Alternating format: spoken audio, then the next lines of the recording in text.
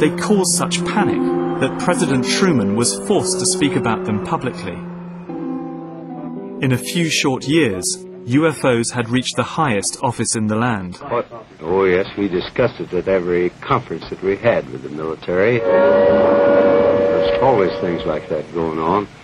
Uh, flying saucers, and they've had other things, you know, if I'm not mistaken.